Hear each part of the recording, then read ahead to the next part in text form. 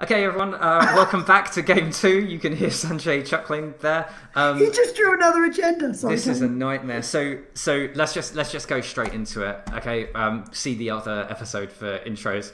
Uh, so we've got CableCarnage playing Spark, uh, which hasn't lost a game um, for the whole tournament, and we've got um, Superninja Ruben, who is also on Gabe.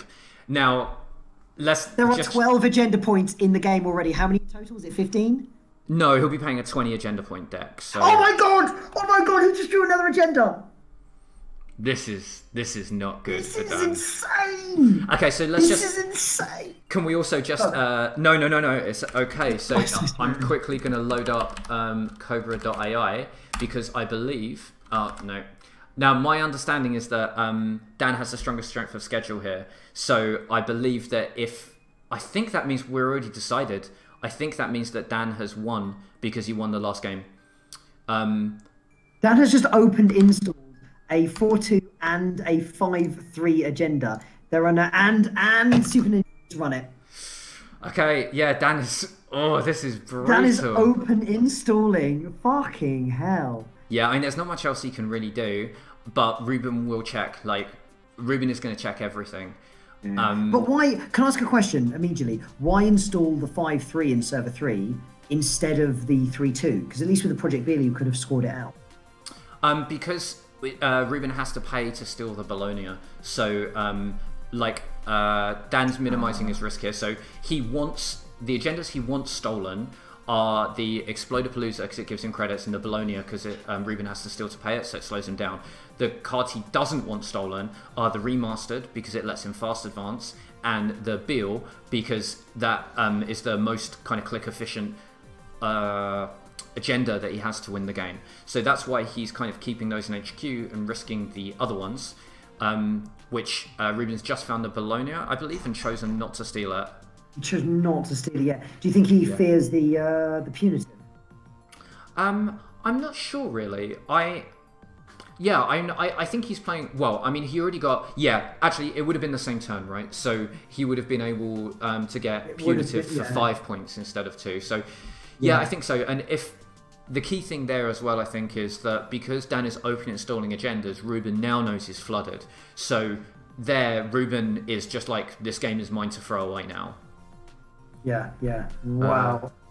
Yeah. So taking Look, that. boom, he's on he's on five agenda points at what turn? What turn is it? Turn two, turn three, turn three, turn five. Yeah. Sorry. So Oof. yeah, so clicking up for credits there to minimise um, the risk of punitive. So he could still get punitive once if Dan put all his money into it, but he couldn't get punitive twice. So um, he'd still be in the game.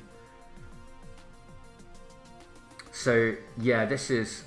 I did Dan just mandatory draw another agenda? Or am I going- no, he, he drew an eye switching sword. Okay, cool. No, he drew a nice, drew a nice, but he he drew agendas for his first three terms. Like it's just crazy. I, I mean, Yeah, this is brutal, and especially, um, I mean, it's Gabe as well, so he's incentivized to run HQ.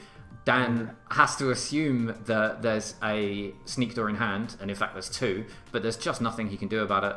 So we're seeing a jam for the remastered into um, server three here. There's no advance on it, so he can't score it next he, turn. he can. He's got the biotic labor. That's why he's done it. So biotic and then advance out, right? Oh. Yeah, So nice now he doesn't have to advance it. Yeah. Yeah, very nice Ooh, spot. window. Thanks, Okay, man. So yeah, pop-up window. I mean, pop-up window is going to give Dan money, and also he's probably not worried about uh, Ruben finding agendas there because they're all in HQ. He's like run R and D. There are none in the deck. How many more agendas in the deck in R and D? Do you know? Uh, so we got to count the points. So we're on uh, 5, 6, 7, 8, 9, 10, 11, 12, and 13, 14. So six left. Um, there's definitely two bills. So I'd imagine it's two bills and a, another remastered. So three. So he's got a two. In, he's got a two, like two or three chance in thirty-two. It's a one in ten at best. yeah. You know, But that's really, uh, you know, ten percent chance of hitting an agenda in R and D. He, I, I imagine Dan's just like, yeah, go on, go for it, mate. Yeah, definitely. I mean, um, yeah. So And there's see- the biotic. Yeah. Okay, cool. So so this this score of the remastered sets Dan up to start comboing um, Beales. Unfortunately, he's only got one in hand. Um, but he's only got one remaster token, so I don't know if there's going to be a way for Dan to somehow try and get a second remastered scored. Um, Oh, and there he's into HQ. He's got three and five. well, I, well, I mean, I think Ruben may bounce here, install the sneak door, and then run archives. I don't, I because he's going to want to put the sneak door down anyway. But no, he, he takes the Took tag. the tag. Okay. And he's allowing to fire. So how much do you think CableCarnage will spend on the trace? I don't, I don't think he'll um, boost. No, he hasn't boosted. Yeah, it's well just done, yeah. like it's not it's not worth um, spending money. He doesn't have any tag punishment cards in hand, so spending his whole economy to try and get that token And there's is, the. Bellona. Wow, that was brutal. Yeah, that was that was a quick game. That was a very quick game. That was unbelievable. I've never seen a game like that before. Yeah. But um, yeah, so I checked and um, uh, we have uh, Dan's on 24 points, Ruben's on 21, and Dan's got the strongest strength of schedule. So um, Ruben needed to win both games in order to take first place. So as it stands, he's uh, at second place because Dan took that first game. Oh, okay. So they finished on the same points, but Dan's got the strongest strength of schedule. Yeah. Uh, no, no, no. So Dan was three points ahead going into this. Oh, he was three points ahead going into this. Okay, fine, fine. So if he'd won both, he'd have been on the same points, but possibly got on a better strength of schedule because he'd just beaten Dan twice, right? Uh, yeah, exactly. Yeah.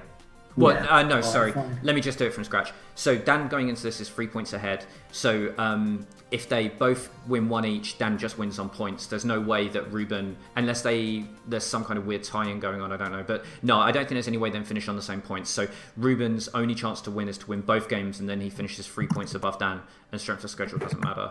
So um, yeah, but it's it's pretty pretty impressive as well because chatting to Ruben, um, like his deck he kind of just built the deck for fun. He didn't really play it to be as competitive. Uh, You know, that's why he's playing stuff like Quest Complete. But he's just a really good player. He's just really, really good. We're really lucky to have him in Cologne. Um, Yeah. And I think you can, you know, both of these guys. Like I've seen, I watched one of Dan's earlier games. I think it was round two. I think he had four agendas in hand um, by the end of turn three, and he came back to win. Like Wow, from four agendas in hand. Wow. I think so. Yeah, Dan. Maybe if uh, if I'm wrong, Dan can correct me. But yeah, like these guys are both amazing. Um, and uh, yeah, it's it's. I, I think they've both done such a good job. And in addition, a really big shout out to Dan, who did a, the bulk of the deck building for this tournament, so that we could put up sample decks for all of the popular IDs for all of the new players. So Dan, not only has he only dropped one game, this game we just saw, over the whole tournament of five rounds, but actually he spent most of the lead up to the tournament just building decks for other people that I then told him he wasn't allowed to play. so How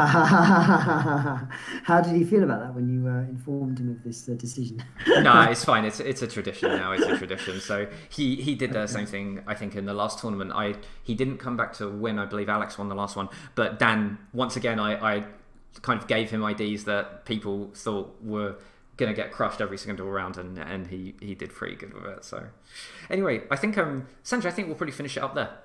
yeah, let's round it up. I'm, I'm sorry that I'm, I'm actually a little bit disappointed. It's so short because it's like you know, uh, you know, where, where's Dan's base? Where's Dan's base? Uh, so Dan's currently based in Münster, but he uh, may be considering relocating. He's he's kind of having some thoughts about some different places. I'm desperately hoping he'll come to Cologne and become part of our uh, growing matter here. But um, yeah. yeah. But anyway, uh, let's finish up. Um, I'm just going to, uh, final words. If anyone is interested in Netrunner or um, this tournament or taking part, and this is, you know, one of the first videos you've watched, there's some information down in the description that you uh, will, uh, you can follow the links and get more information. It's a really great game. I play it a lot. Sanjay also plays it a lot. Oh my god, I love it. It's amazing. Like, and uh, unfortunately, that game was so short. For anyone watching this that is is fairly new, it was hard to have the time to explain what was going on Yeah. because it was over. kind of like, Yeah, absolutely. Um, yeah, so uh, we'll finish this up here. I've got to now play my final game from this tournament uh, very shortly, I think. Um, and yeah, Sanch, thanks very much for coming on and uh, being my commentator. This is the first game that I've live commentated for Netrunner, and uh, it's also your first game. And thank you very much for coming on and, and doing it with me. no, no, no. Thank you, Craig. Thank you for organising the tournament. It's been uh, it's been an absolute blast. I've had uh, I had I had one of the best games of my life in the last round of the tournament. Actually, to be quite honest, so uh, it's been it's, it's been bloody great. Actually, thank you so much, Craig. Cool. Right. See you around. Bye. See you guys later. Bye. Always be running.